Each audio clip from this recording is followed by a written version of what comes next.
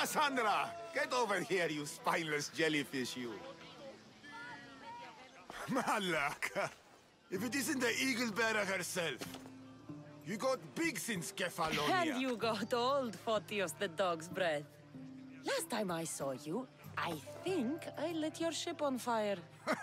my ship and my beard. These days, thankfully, I've semi-retired. Do people pay mercenaries here more than they did in Kefalonia? Of course they do. Better than Markos, that's for sure. Everyone pays more than Markos. You're lucky I took all his crazy contracts. I was a fast learner. He's a rotten cheat. I only accept the easy stuff now. I'm working as a watchman this very moment. The cushy job.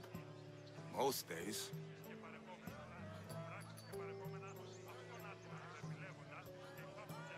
Once a mercenary, always a mercenary. It's a job you can never shake off.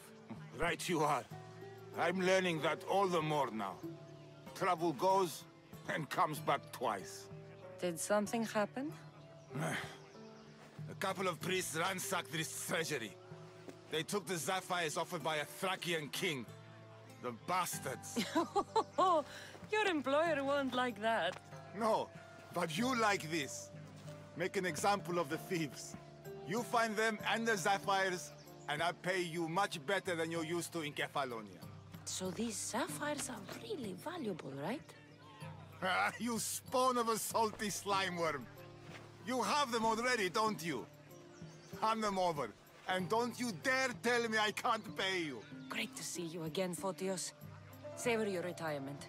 And you savor your youth. Don't become a washed-up sea dog like me.